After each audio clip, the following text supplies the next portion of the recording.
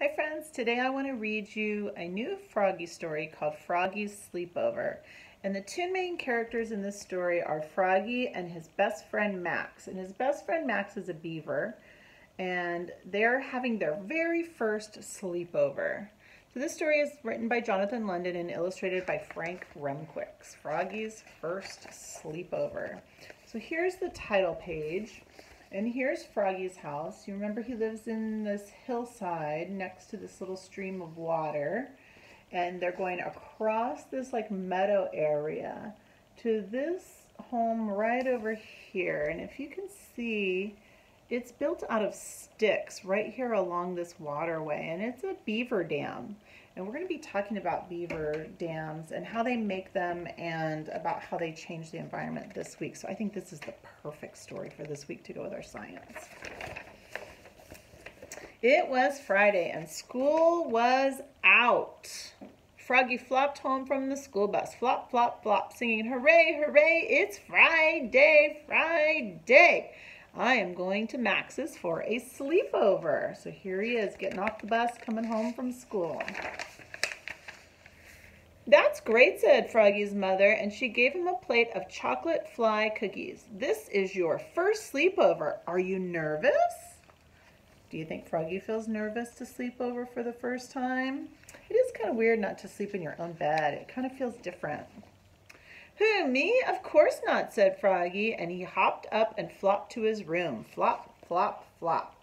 So here he is going to get ready for his very first sleepover at Max's house. He pulled a big sack from his closet. Slam. He stuffed in his sleeping bag. Sloof. So here goes the sleeping bag. Squeezed in his pillow. Poof. Slapped in his pajamas. Puff.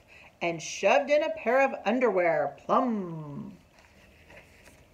There, so he said, and he flopped outside, dragging his sack behind him. Schloop.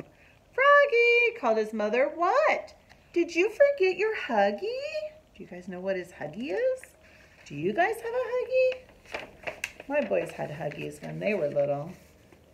Oops, cried Froggy. He flopped back inside. Flop, flop, flop. I found it, he yelled.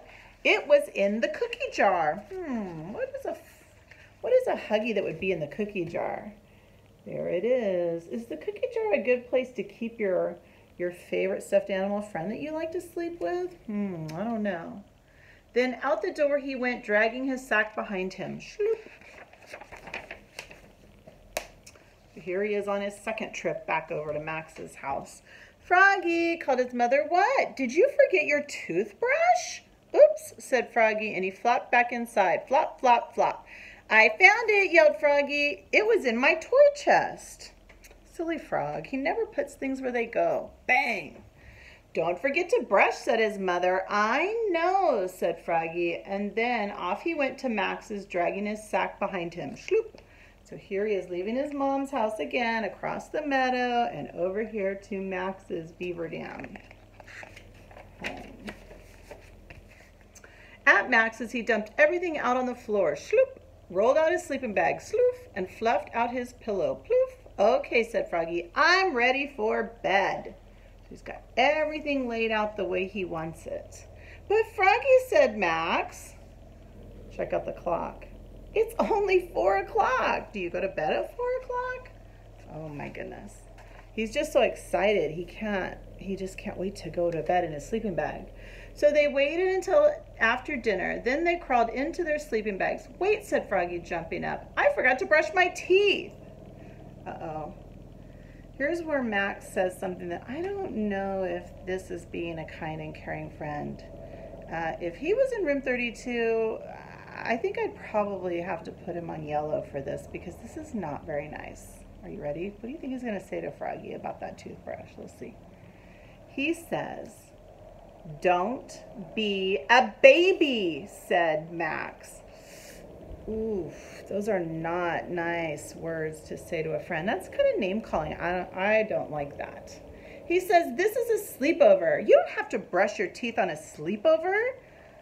I, I think that you that he should be listening to his mom and doing what is the right thing for him, not listening maybe to his friend who's who's giving him some bad advice. Maybe he's saying things that are not very nice. I don't know. What would you guys do? think about it. I don't know. Froggy crawled back into his bag. Wait, he said. He jumped back up. I need my Huggy to go to sleep. Sleep, said Max. Who's going to sleep? We can tell scary stories and have pillow fights all night long. Ooh, is that a good decision? Hmm. I've told you guys over and over, over again. I don't like scary stories. I don't like scary movies. I don't even like to talk about them. But Max is going to scare Froggy with his scary stories. Can you see this? So these scary story creatures that are in this picture, they're not real. This is just what Froggy is thinking in his brain as Max is telling these stories to him. Froggy slipped back into his bag and Max told him a story that made Froggy's skin crawl. That means he felt so scared. Now it's your turn, said Max, but there were weird screeching sounds and scary shapes that hung like shadows, like ghosts.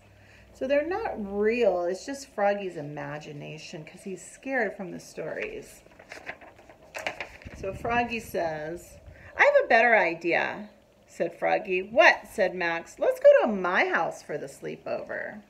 So here they go across the meadow. They are leaving um, Max's house. Here's Max's mom here. She was the, remember she was the baseball coach um, and then the soccer coach too.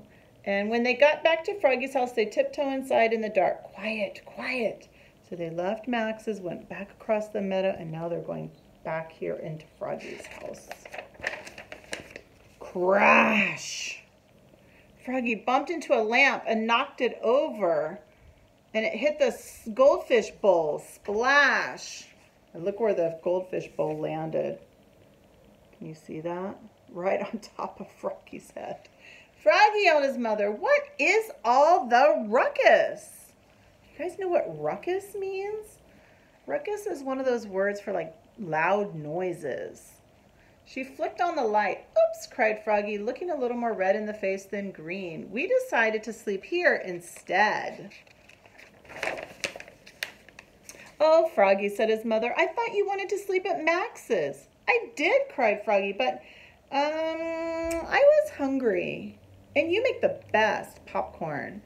So do you think Froggy was really hungry or do you think he was just a little bit scared at Max's house and wanted to come back home again? I think he was kind of nervous to be at Max's house with all the sounds and the scary stories. So they went back to Froggy's house. Can you make us some popcorn, please? Okay, you little munchkins, said his mom. Pop, pop, pop. She made them some buttery popcorn and then went back to bed. Lucky, lucky friends. Plump, plump, plump. Froggy and Max were having a wild pillow fight, laughing and making all kinds of ruckus. How do you think that's going to make the mom and dad frog feel? Uh-oh. Yikes.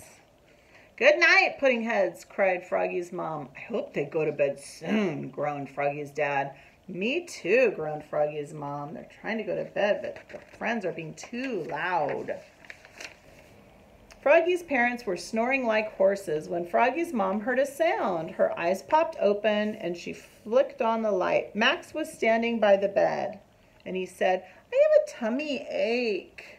He said, I want to go home. Uh-oh. Guess what?